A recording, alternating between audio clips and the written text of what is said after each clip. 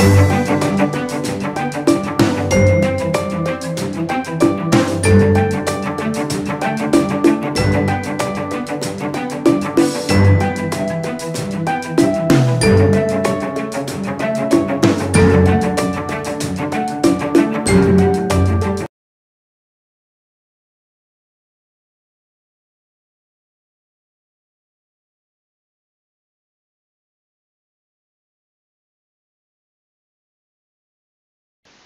Hola amigos, ¿cómo están? Espero que estén de lo mejor. Hoy vamos a hacer algo que, que, no, que, no, nunca he hecho en el canal, pero tampoco lo voy a convertir en sección porque tampoco hay mucho que hacer si fuera una sección. Voy a crear un modelo 3D en vivo de un fidget spinner. Mm, ya sabéis que hubo una moda hace un tiempo, bueno, no hace tanto tiempo. También depende de cuando suba este vídeo, pero tampoco hace tanto tiempo.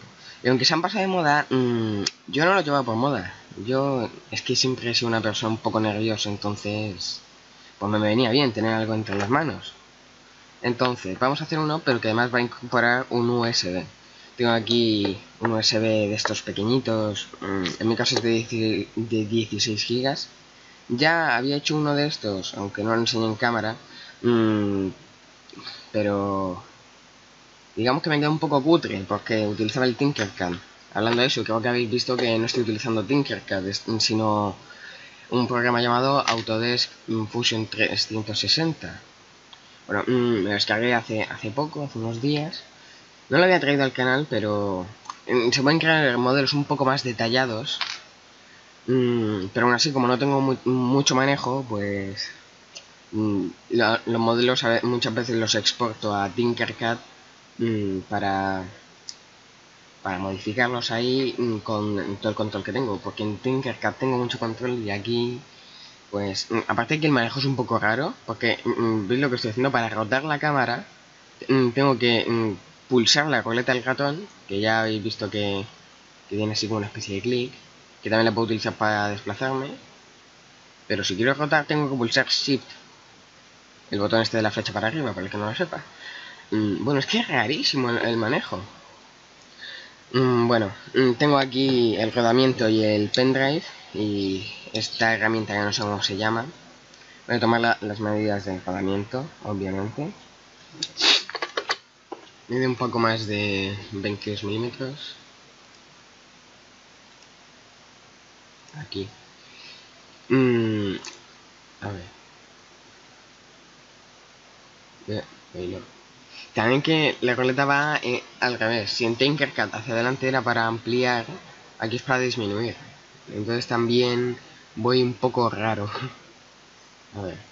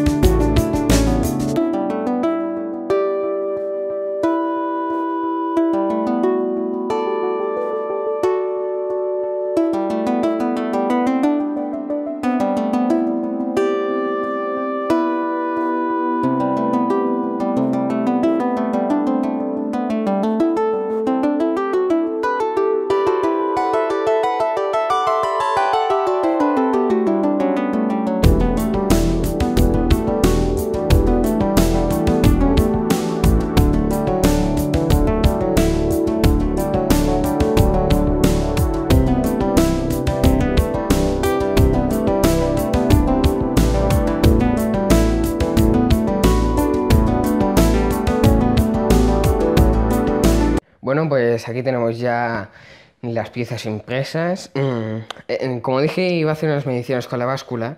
Entonces, mm, he ido añadiendo peso hasta que en el otro tapón este que se igualará con el tapón con el pendrive puesto. ¿Vale? Mm, aparte de silicona le he metido esto por el interior de una ficha de conexión porque con la silicona sola no llegaba. Bueno, también hice fuera de cámara un par de ajustes a esto le, añadí un segundo cilindro un poco más grande, porque si no me, acordé de que si está ras me rozaba con el resto del rodamiento. Y así, pues, no, no roza. No. Mm, tenemos aquí los tapones. Eh, esto que por cierto también le hice una modificación. Le curvé los bordes de los brazos. Bueno, no así, me refiero a que los puse lo que es la esquina que se me queda muy piquedo. Ah, y al final resulta que no, no me queda tan grande. Bueno, los tapones los he hecho con Filaflex. Mm, los dos, vaya a ser que por la diferencia de plástico tuviera que, que hacer más, silicona o no sé. Bueno, mm, aquí tenemos el pendrive. Sale perfectamente. Es de la marca es que estoy mirando a través de la cámara y no lo veo bien. Bueno, se puede leer claramente, pero yo no consigo leerlo. bueno. Pues bueno, mm, tengo aquí el martillo con su tapón de coma correspondiente para no dañar el rodamiento. También existe algo llamado Spinner Press, que se imprime con la impresora 3D, pero no, no he podido hacerlo. Y en fin, voy a utilizar el martillo, pero como se le rompió el tapón de goma que venía, le fabriqué uno con Filaflex que tiene una capa más gruesa. Y bueno, mm, aquí el pegamento que vamos a utilizar para pegarlo. Ya lo dije en el review de las cargas de Predator, que para pegar cosas impresas en 3D recomiendo mm, Epoxy y este, Loctite Universal 60 segundos. Bueno, pues ahora cambiamos de ángulo, introducimos el rodamiento. Bueno, pues tenemos aquí lo que es el cuerpo del espinal con el rodamiento ya un poco encajado con los dedos y ahora lo tenemos de encajar con el martillo y su tapón de goma.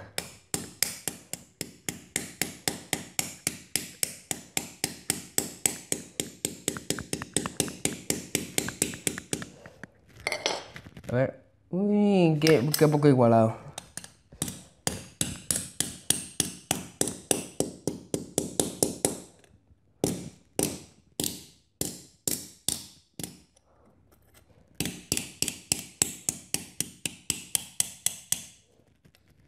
Bueno, mm, por lo que parece el rodamiento no ha sufrido daños y efectivamente no, me raza.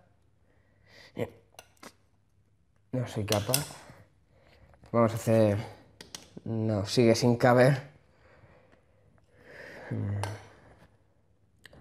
Bueno, fuera de cámara lo, incrustaré con, no sé, algún cincel, lo que pille. O si no, lo dejo así. Bueno, pues estamos aquí con el rodamiento ya introducido y bien centrado. No sé si lo apreciaréis en cámara, pero ahora está un poco más igualado. Recordad que tuvimos que hacerlo un poco más grueso debido a que también ponemos un pendrive, no solo el rodamiento. Bueno, mm, he, conseguido centrarlo utilizando esto a modo de prolongación más fina del martillo, ¿vale? Iba haciendo así, en plan pincel. Bueno, mmm, yo utilizo este tipo de rodamiento, mm, pero hay muchísimos más tamaños y, varios tipos de rodamientos. Bueno, mejor dicho, cojinetes. Para el que no sepa, esto es un cojinete. Mm, del tipo de rodamiento, porque está hecho de, de, bolas. También hay otros que tienen cilindros en vez de las bolitas. Y otros que directamente son dos cilindros de metal, ¿vale? El interior del exterior con un poco de grasa. Bueno, mm, ya, ya no tenemos que usar el martillo, así que fuera. Pila, tú también fuera. Ahora pasamos a la parte del pegamento. Empezaremos con las tapas. Ups. Ah, no lo estoy viendo en cámara. Resulta un pequeño... Bueno, se me ha caído una de las tapas. Bueno, un pequeño error que... La tapa tiene el tamaño del agujero, pero no había caído en que es más grueso. Uy, qué fallo. Bueno, mm, ahora después le doy un poco con la lija. Vamos a, a pegar lo que es el pendrive y la otra tapa. Y luego ya os traigo eh, las tapas lijadas, ¿vale? Eh, lo introduciré así, ¿sí? Vale, aquí el Loctite de Universal 60 segundos. ¿Veis ahí que es como un gel? A ver, esta es la zona donde voy a poner el pendrive.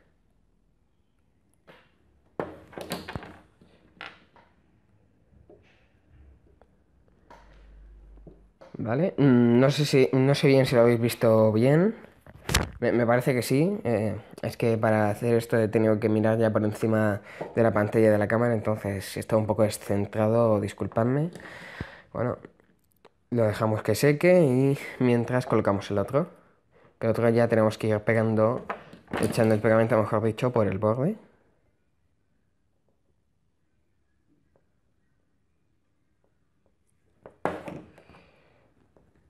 Vale, creo que lo estáis viendo bien. Muy bien. ¡Ay! Se me pasa por... por manazas.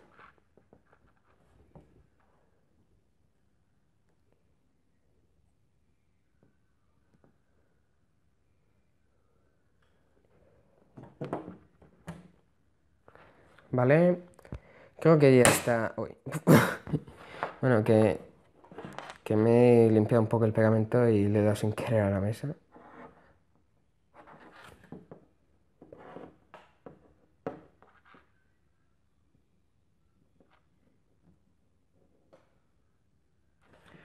Bueno, vale, creo que está bien. Ahora pasamos a, a otra cámara a lijar las tapitas.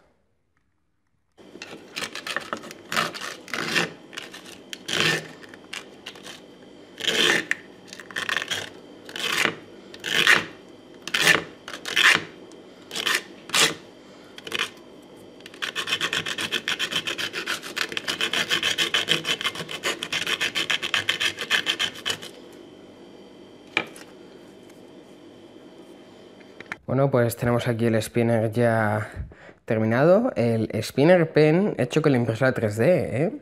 Y diseñado por nosotros. ¿eh? Yo, yo lo he hecho con esta forma, pero vosotros podéis darle la, forma que queráis. Y no tienes por qué utilizar el programa que he utilizado yo, el Autodesk Fusion 360. Con el Tinkercad, si, si tenéis mucho dominio, se puede hacer. Y a ver. ¿eh? ¿se puede? Efectivamente. Aquí tenemos el pendrive de 16 GB las, tapas ya no rozan. Bueno, un poquillo, pero nada de otro mundo. Obviamente no dura demasiado. Si queréis, mm, lo, que podéis hacer es, aparte de igualar esta zona, podréis hacer el diseño con agujeros para meterle arandelas y que tenga más inercia. ¿Vale? Tanto en el brazo del pendrive como en el tapón libre. Y a mí sí me caben las manos, pero me parece que a mucha gente no le va a caber. A veces que me. A veces que tengo las manos enormes. bueno, mmm... basta de lloriqueos, vamos a probarlo al ordenador. Bueno, aquí tenemos el spinner y el PC, ahí con nuestro hermoso logo, ¿eh? el logo del teclaqueador de, de fondo de pantalla. Bueno, mm, basta de tonterías. Le quitamos el tapón, si es que puedo con una sola mano efectivamente. Eh. Joder. vale. Incluso sacando un poco el ordenador del sitio sigue sin caber. Bueno, mm, esto no es un problema, existen varias prolongaciones de USB. Mm, de hecho existe algo que, tenemos en el, ordenador que usaba antes para los vídeos. Que, ahora es de, uso público aquí en la casa. Pues bueno, mm, en ese tenemos colocado mm, un cable USB que va a un cacharrito así planito, más pequeño que un disco duro, mm, que tiene varios puertos. Ahí lo puedo conectar fácilmente.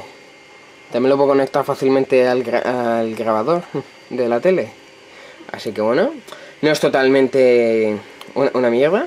Y de todos modos existen un infinidad de cables mm, que es que es lo que os he dicho antes, pero mm, que es solo eso, es un puerto USB, mm, un cable y un USB hembra. Básicamente es una prolongación. Bueno, también vosotros podéis tomar medidas de vuestro ordenador para poder conectarlo. Bueno, en mi caso no, lo hemos podido ver, pero os puedo asegurar que funciona. Comprobé el USB antes de meterlo. De hecho, le, he puesto de nombre Spinner, ¿vale? Aquí con el spinner girando, que no va tan desequilibrado sin el tapón. Me, despido, espero que os haya gustado, dale like, favoritos y suscribíos. Y bueno, hasta el próximo vídeo, hasta la próxima. Adiós.